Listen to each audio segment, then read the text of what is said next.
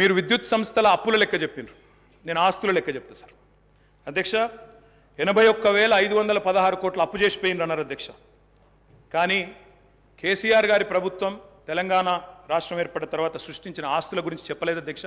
ఉద్దేశపూర్వకంగా బదనాం చేయడానికి బట్టగాల్చి మీదేయడానికి అప్పుల సాకు చెప్పి ఆరు గ్యారంటీలు గొట్టెతందుకు ఒక ఉప్- ఒక ఉపోద్ఘాతాన్ని రూపొందించి ఇగో అప్పుల పాలైపోయింది దివాలా తీసిందని చెప్పి చెప్పి తప్పించుకోవడానికి తప్ప ఇంకోటి కాదు అధ్యక్ష అధ్యక్ష Transco TS Transco.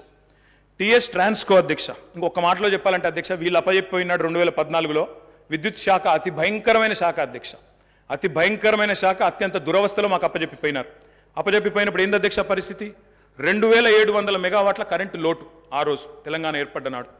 ఇరవై రెండు వేల నాలుగు వందల ఇరవై మూడు కోట్ల అప్పులు మీరు అప్పచెప్పినాడు మాకు. ఇరవై రెండు వేల నాలుగు వందల ఇరవై మూడు కోట్ల అప్పులు. అధ్యక్ష ఆనాడు ఇది ఆ రోజు మీరు అప్పచెప్పినప్పుడు. అప్పులు ఇరవై రెండు వేలు లోటు ఇరవై ఏడు వందలు. అధ్యక్ష ట్రాన్స్కో ఆస్తులు అధ్యక్ష. లెక్క వాళ్ళేమో అప్పులు చెప్పారు నేను ఆస్తులు చెప్తున్నా. ట్రాన్స్కో ఆస్తులు వాళ్ళు అప్పచెప్పిపోయినాడు మాకు రెండు వేల పద్నాలుగులో ఏడు వేల నాలుగు వందల అరవై ఒక్క కోట్లు. ఈరోజు అధ్యక్ష ట్రాన్స్కో ఆస్తులు మళ్ళీ తిరిగి మేము వాళ్ళకి అప్పచెప్పినప్పుడు ఇరవై నాలుగు వేల నాలుగు వందల డెబ్బై ఆరు కోట్ల అధ్యక్ష. జెన్కో ఆస్తులు అధ్యక్ష టిఎస్ జెన్కో ఆస్తులు. ఆనాడు పంతొమ్మిది వేల ఆరు వందల ఏడు కోట్లు రెండు వేల పద్నాలుగులో. ఈరోజు యాభై మూడు వేల తొమ్మిది వందల అరవై మూడు కోట్ల అధ్యక్ష. అధ్యక్ష డిస్కామ్లు ఎన్పిడిసిఎల్ ఎస్పిడిసిఎల్.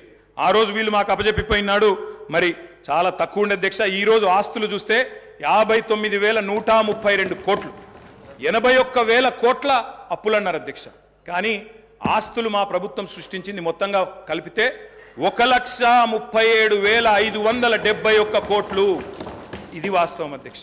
ఆస్తులు మాత్రం చూపెట్టకుండా అప్పులు మాత్రం చూపెట్టి తిమ్మిని బమ్మిని చేసి ఏదో బుకాయించేదో చేస్తాం జాదుగారు చేస్తామంటే కుదరదు అధ్యక్ష.